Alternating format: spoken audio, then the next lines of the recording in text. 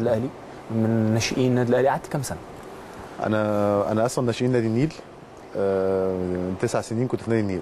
وكنت بروح كل سنة نادي النيل يعتبر آه، ال- ال- ده تلعب ولا تعوم؟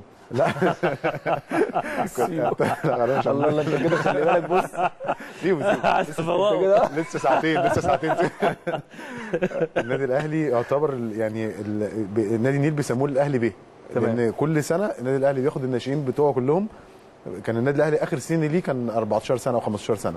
كان بياخد كل الناشئين من سن 9 سنين لحد سن 14 سنة بيروحوا يختبروا في النادي الأهلي. بس نظام الاختبارات زمان كان بتيجي ناس من كل حتة فبيبقى ال- ال- المساحات بتبقى ضيقة شوية فما بتقدرش تشوف حد كويس أو مش كويس لأن كله بي- بيحاول يثبت نفسه فكله بيجري ورا الكورة. يعني طبعا الناشئ عامة بيجي يختبر عايز يثبت نفسه. تمام. فرحت كذا مرة فأنا كنت في الناشئين يعني كان اسمي مسمع كويس قوي الحمد لله. فرحت نادي اتحاد عثمان اللي هو مزارع دينا. فأنا رحت النادي كنت اتعاقدوا معايا فعلا كان ساعتها ال- الفلوس ب 4000 جنيه. يعني الشراء كان كده ساعتها. فكابتن عماشة قال لي كابتن خالد جد الله وكابتن ضياء السيد قال له أنا الأحمد اللي أنا قلت لكم عليه كذا مرة آه، رايح اتحاد عثمان. راح كابتن خالد وكابتن ضياء قالوا له آه، لا نشوفه في الملعب فأنا نزلت اختبرت مع فرقة كان فريق كام. سنة؟ آه كنت داخل على 14 سنة 14 سنة سنة. 94 فنزلت معاهم في الملعب اختبرت وكان تقسيمات والحمد لله كنت كويس فيها فبعد التمرين في أهل مدينة نصر راح آه، كابتن خالد جد الله نادى عليا قال لي أنت نظامك إيه في النادي بتاعك قلت له أنا مقيد في النادي قال لي طب إحنا عايزين الورق بتاعك بس رحت للنادي كان الله يرحمه كابتن أحمد ماهر كان آه، ماسك في النادي الأهلي وكان هو مدير نادي النيل كلموه والحمد لله خدت الاستغنى و... وتاني يوم آه، كنت معاهم على طول يعني. من حتى- 14 سنة. أربع آه وأنا سن 14 سنة. بدأت على طول الماتشات يعني. أول ما مضيت معاهم كان أول ماتش لينا كان مركز شباب امبابة في امبابة.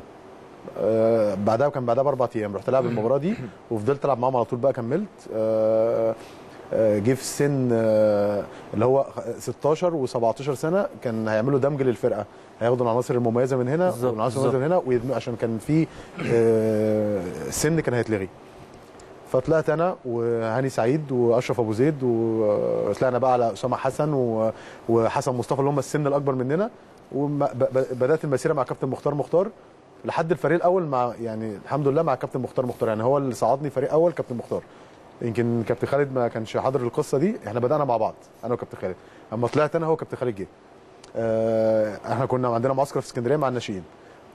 آه، تسوبل خسر مباراة آه، أقلوا الجهاز الفني كله وعينه كابتن مختار مدير فني وكابتن علاء عبد الصادق كان ماسك معانا مدير كان ماسك آه، مساعد مدير قطاع الناشئين طلع مسك مدير كوره في الفريق الأول. تمام. تمام. بس. فاحنا كنا في اسكندرية اتصلوا بينا رجعت أنا ومحمد فضل وياسر علي رجعنا للمعسكر وانضمينا و- ويمكن آه، أول ما انضمينا على طول سافرنا أول بطولة كانت في رومانيا آه، بطولة ال جي يمكن دي الحمد لله كانت أول بداية ليا يعني أول. إعلان نشر. آه كنت إيه؟ لسه أقول لك والله كنت لسه أقول لك هتعديها. هي اسمها كده. خلي بالك. هي البطولة تاني, ده تاني مرة برضو مع كابتن خالد بيقول حصل نفس الموقف. مرة كنا برضو كان كان هو كان آه، في برنامج في الراديو يعني.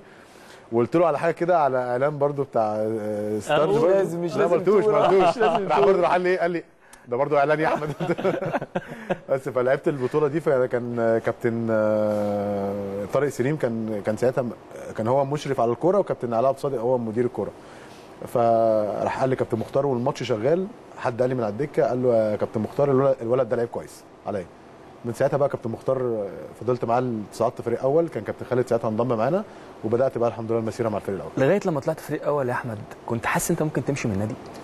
أنا فعلا كنت ماشي. أنا كنت رايح إم بي.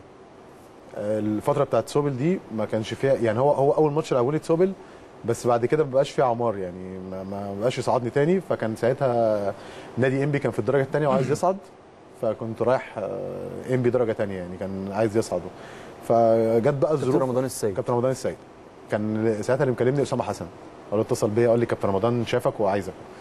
فجت الظروف الحمد لله كابتن مختار مسك. أول أول قرار خده على طول إن هو صعدني أنا ومحمد فضل وياسر علي.